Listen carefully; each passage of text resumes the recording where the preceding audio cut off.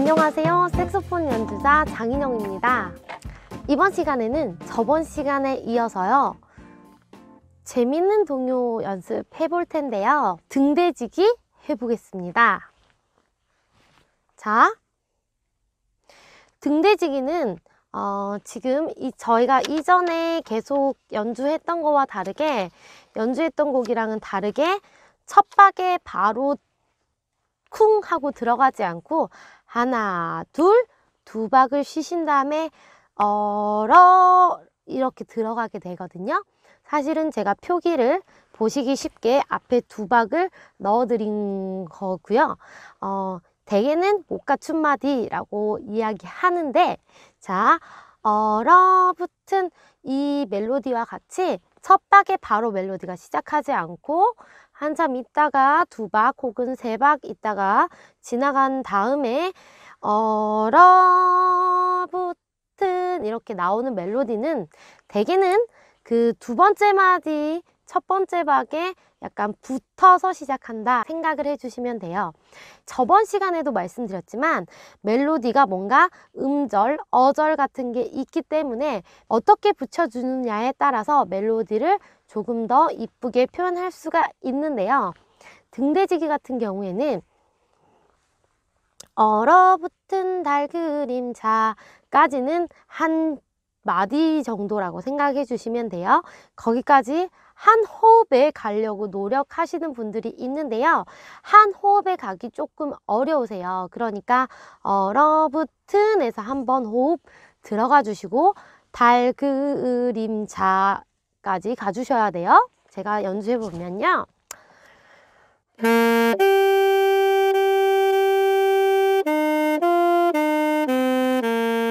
이렇게 한 호흡에 가려고 자꾸 한 호흡으로 가려고 하다 보면 뒤에 음이 조금 흔들릴 수 있거든요. 그러니까 음, 아.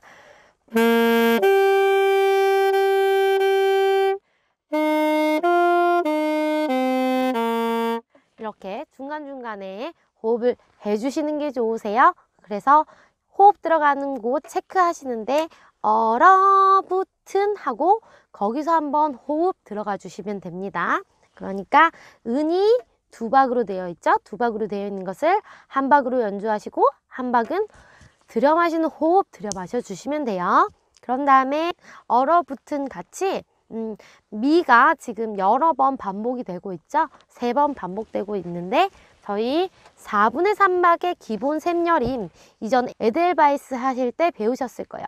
강량약 강량약 이렇게 흘러가는데 음.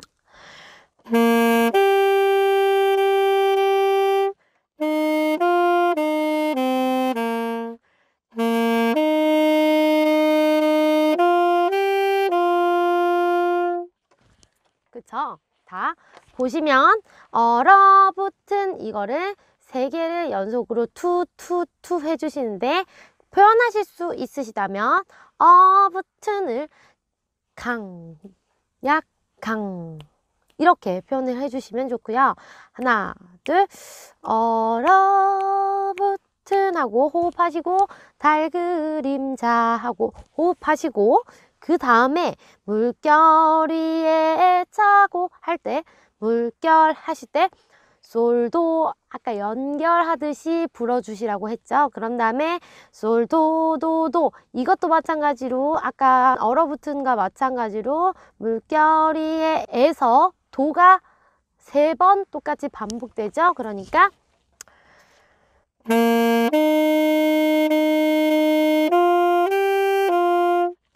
이렇게 연주를 해주시면 되는데 이전에는 물결 위에 하고 호흡을 바로 쉬셨단 말이에요. 그런데 물결 위에 차고까지는 한숨에 가주시는 게 훨씬 더 좋으실 거예요. 그러니까 고를 충분히 다섯 박 동안 연주 안 하셔도 되지만 물결 위에 차고 파도가 지나갈 때까지는 한 호흡으로 불어주시고 만약에 다섯 박 이전에 끝났다고 하시더라도 다시 불어주시는 건 아니고요. 그때 쉬어주시면 됩니다. 제가 해보면 아, 어.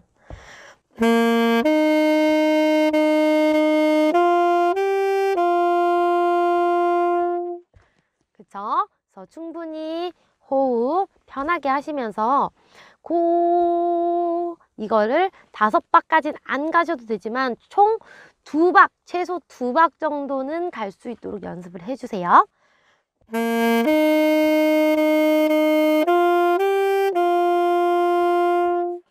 그렇죠? 그런 다음에 한겨울의 거센 파도 여기까지는 앞에 첫 번째 줄과 같은 멜로디가 또 반복이 되고 있어요.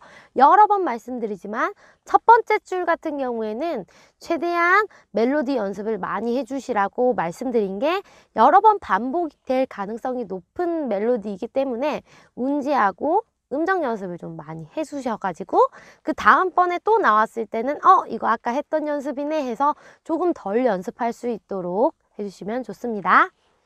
그래서 한겨울의 거센 파도까지는 멜로디 똑같고요. 모으는까지도 똑같은데 작은 섬이 좀 다르시죠? 그러니까 아까와 다르다라는 점을 일단은 인지를 해주셔야 돼요. 그래서 어, 초보자분들은 불다 보면은 아, 아까 그 멜로디를 또 연주하시는 경우가 또 생기시거든요. 그러니까 일단 다르다라는 점 이해하시고 제가 한번 불어보면요. One, two, three. 어.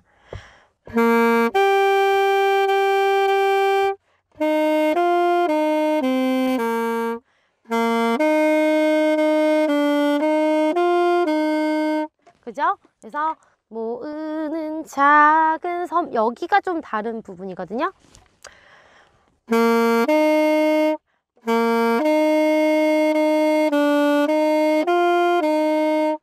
그렇죠? 시도레 여기 교차되고 그리고 옥타브 넘어가는 부분 그리고 다시 도로 돌아오는 부분에서 조금 운지 신경 쓰셔야 되니까 제가 이전에도 말씀드렸듯이 개명창을 먼저 하시고 그러니까 솔, 솔, 도, 도, 시, 도, 레, 도 이런 식으로 개명창을 하시면서 운지 연습 다시요. 솔, 도, 도, 시, 도, 레, 도 솔, 도, 도, 시, 도, 레, 도 개명창 하시면서 운지 연습을 더 많이 해주신 다음에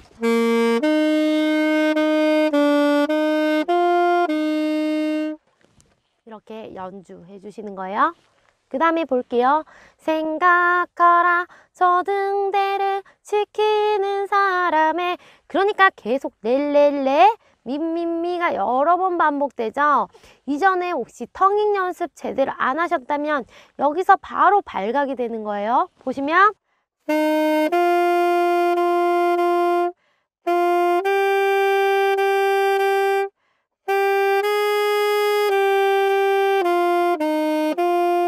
이렇게 연주해 주셔야 되는데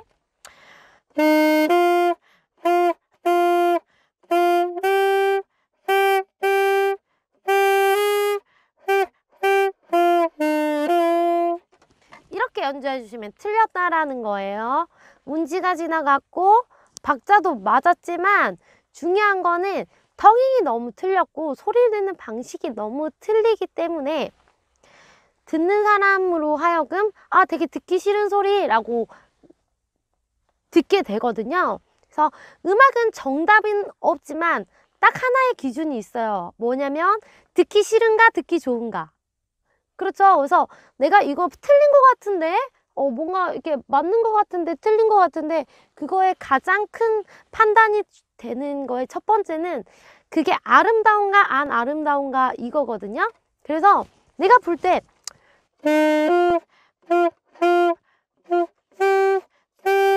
이렇게 하는 게 자꾸 들린다 이게 거슬린다 하시면 바꾸셔야 해요 다시요 어떻게요 투투 투 투 이런 식으로 혼자서 악기가 없으실 때에도 투 투 투 투 다시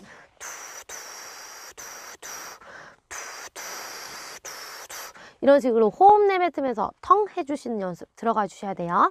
리듬. 리듬 보면요. 제가 해볼게요. 음.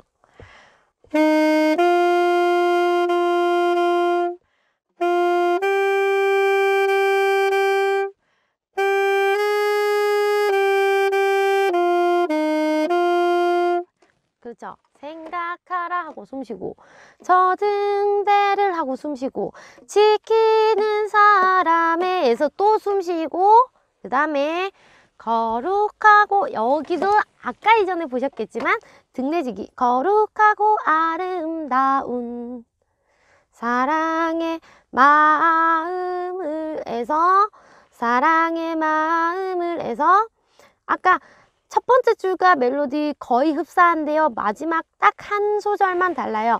시도래도 이렇게 떨어지는 부분이요. 그러니까 눈치채셨을지 모르겠지만 세 번째 줄에 나오는 변형된 멜로디와 완전하게 같은 멜로디가 또 나오죠.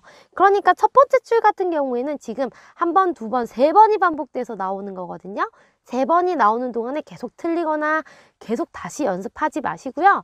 첫 번째 제대로 연습하셔서 두 번째, 세 번째는 아우 쉽네 하고 패스할 수 있을 정도로 연습해 주시길 바랍니다. 어떠신가요? 등대지기 배워보셨는데요. 저희는 또 다음 시간에 재밌는 곡으로 돌아오겠습니다. 영상이 마음에 드셨다면 아래 좋아요 버튼과 저를 계속 만나고 싶으시다면 구독하기 눌러주시면 감사하겠습니다. 감사합니다.